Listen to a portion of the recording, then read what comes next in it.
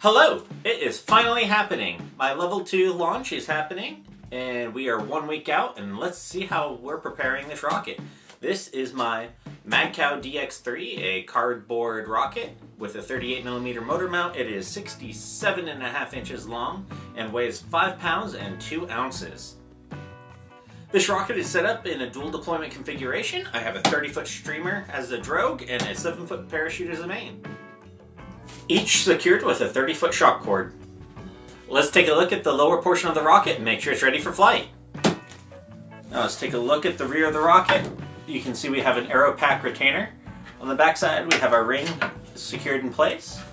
We have a good fillet on the rear centering ring. Good fillets attaching the motor mount and the epoxy is holding the motor retainer in place. No cracks, nothing's looking damaged there. We have our rail buttons and they are firmly secured. Let's take a quick look at the fins. Our fins are in good shape. Make sure they are nice and secured. That's all looking good.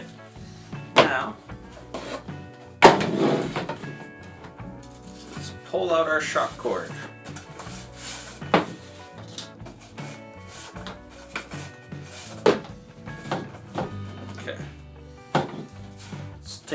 Inside and make sure everything looks good. Epoxy fillets are looking clean, as they should be. And the shock cord is securely attached to an eye bolt. The eye bolt looks secured. Make sure that is nice and firmly secured in place. Now I run my hands over the shock cord to make sure we don't have any frays or cuts burns, nothing that will weaken the shock cord. That brings me up to my swivel where I've got a soft link. Make sure that is secured. Make sure my swivel is free. that is looking good. We have my streamer, which is packed as it should be. And then we have the Kevlar pouch for the radio tracker that I used to locate this rocket. And that is secured in the soft link as it should be, so that's looking good. Now let's continue down the shock cord.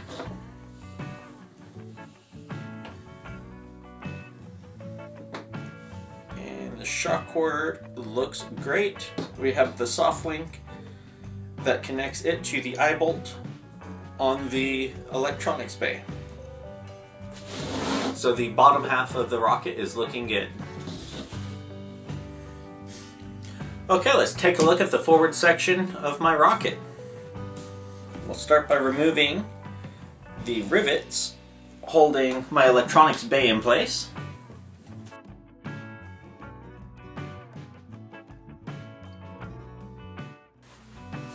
And then it just slides out. We'll take a look at the electronics bay a little later. Now let's take a look at the forward section with the nose cone. We'll just slide the nose cone out. It is a nice snug fit as it should be, which is accomplished by using a little bit of blue painter's tape.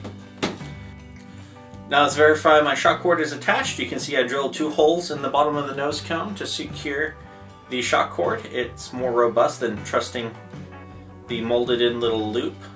And then let's just trace out the shock cord, make sure we are nice and secure, no cuts. Okay, and let's pull the parachute out. So I have my 7 foot Rocket Man parachute inside of one of their deployment bags. Tracing the shock cord, no cuts, no damage. The swivel is free.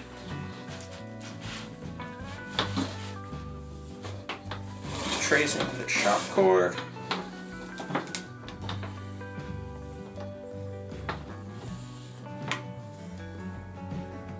And we have the soft shackle that attaches to the electronics bay. That's all looking good. Now let's take a look at the parachute. Pull it out. We have our deployment bag. It's attached with a tether. Let's make sure the tether is secured to the deployment bag, and it is. No damage to the tether. And let's open this up. And the tether is attached to the top of the parachute, just as it should be.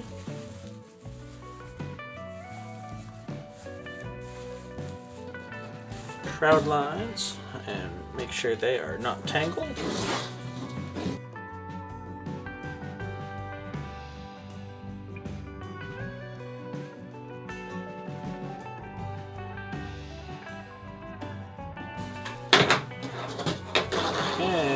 They are not tangled. Zigzag these back in.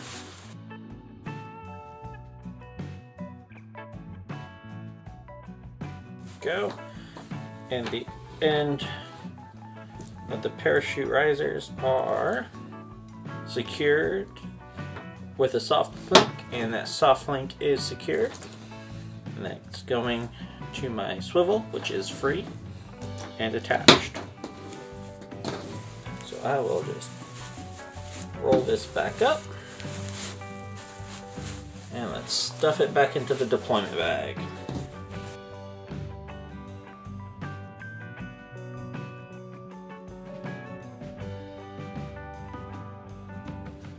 And the parachute is ready to go. Now we can take a look at my electronics bay. I have two different charge wells on each side for a primary and redundant charge for my main and drogue. I've got eye bolts for each of my attachments. For my shock cords, I have two quarter 20 rods going through the electronics bay securing everything in place. I have pass-throughs on both sides that are secured for passing my E-matches through. Now that we have our electronics bay open, let's take a look at what we have.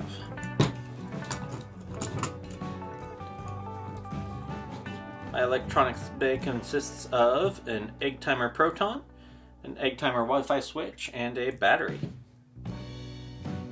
If you notice, these battery connectors do not match, and that is because when I made this harness, I was initially planning on using a separate battery, uh, a smaller one, but it ran out of uh, energy too quickly, and so I had to upgrade to this larger battery.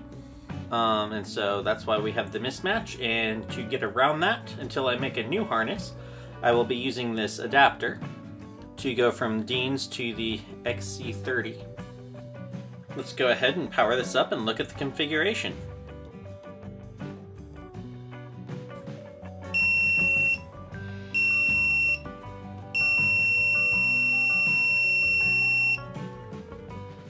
Let's test the Wi-Fi switch is functioning. If you notice, when I plug in the power, the on light for the Wi-Fi switch is turning on immediately, indicating that its output is high when powered on. And if I put a multimeter on here, we can see that on the output,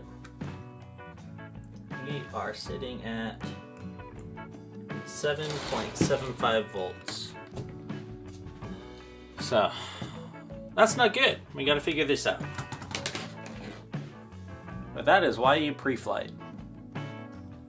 Okay, so when I disconnect it from the Proton, when I apply power, the LED is off. Now if I can reconnect, okay. So the Wi-Fi switch is working as it should. I enabled it, the light comes on, and then if I disable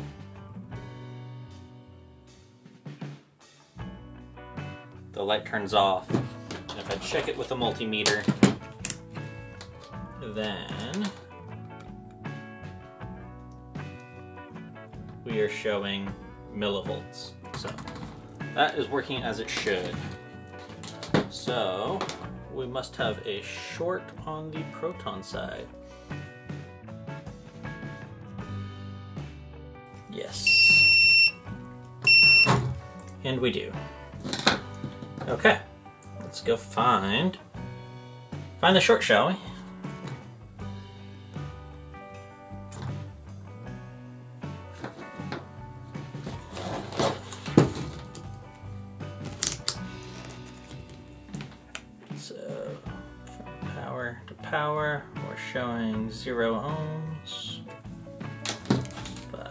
Disconnect this guy,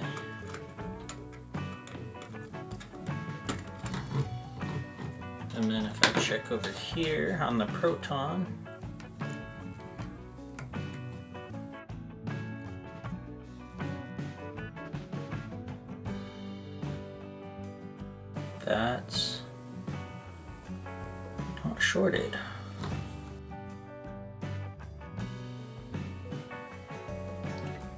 Just get rid of it? Because the proton, unless it's armed, disconnects power to the pyro. It meets all the Tripoli requirements. really don't need the Wi-Fi switch. I installed it before learning about the integrated switches and the fact that it's not needed with the Proton. It would simplify things. I could get rid of the adapter. We can just fix this up. Interesting. Let's do that. And now I'm back after modifying the wiring harness for the Proton. Let's go ahead and get it installed back on the sled.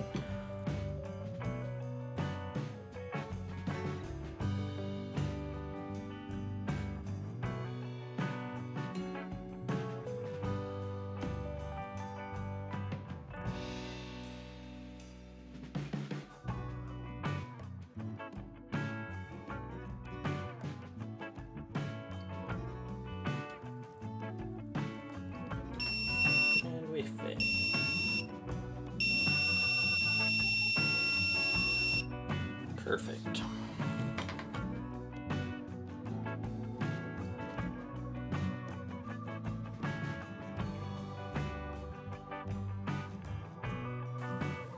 So now I have the proton turned on, I will use a 1 ohm resistor across the different channels and verify that they are reading appropriate. So I have it plugged into channel 6 and channel status goes to on when I refresh the page. That is correct. If I go to channel 4, refresh the page, channel status is on. That's good. If I go to channel 3,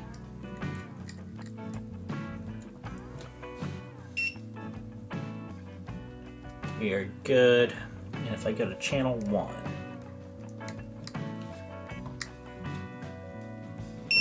refresh and it says on. So the Proton is recognizing continuity correctly. The channels appear to be functioning as they should. Um, I've done uh, several ground tests with this, so I am confident we will work just fine. Okay, let's finish prepping the forward section of the rocket. I will go ahead and reinsert the electronics bay that we have ready to go. Uh, the battery's charged when we get to the field. I will add the E-matches and the black powder and we will be ready to go. But until then, we'll go ahead and reassemble everything. I'm not going to uh, attach my soft links here because I will have to undo them at the field. But I will align my keying marks that I've made with Sharpie so that I align my rivet holes.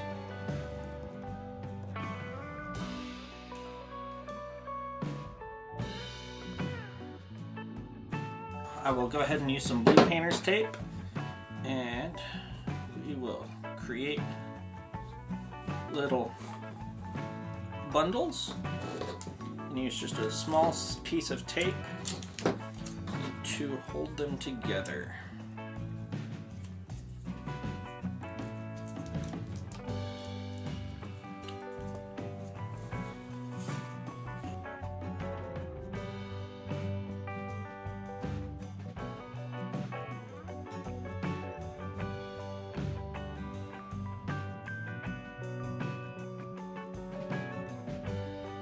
Now I will take my parachute we will just slide that in.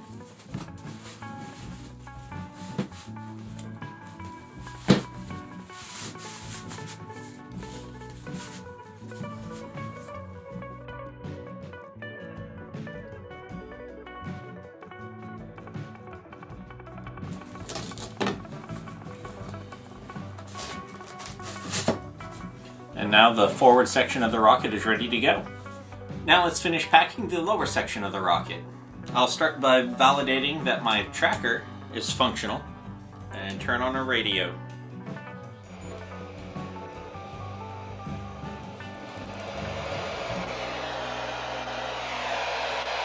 And if you can hear that rhythmic pattern, and if you can see the bar on the radio, you will see that the tracker is functioning.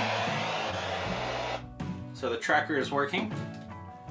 So I will remove the battery and place the tracker back in its protective case.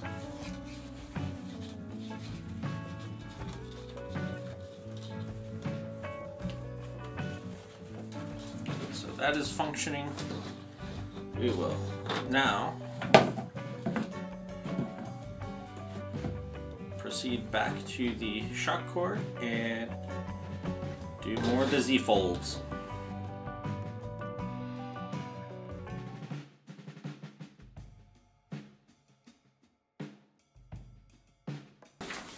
Now I will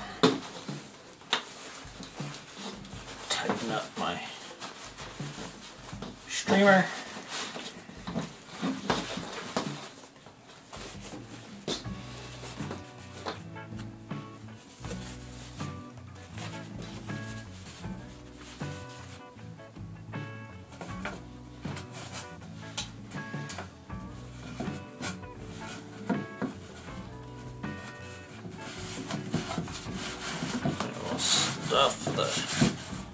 Tracker and the streamer.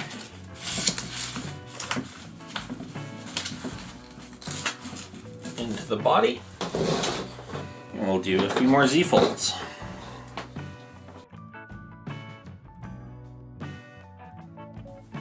And I won't attach the shock cord yet. I will wait until we get to the field and get the black powder charges in place. And now let's slide the forward section into the rear section of the rocket. We are pre-flighted and ready to go to the field.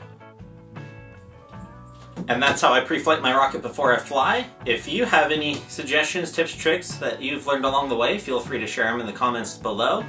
Until then, thanks for joining, and we'll see you next time.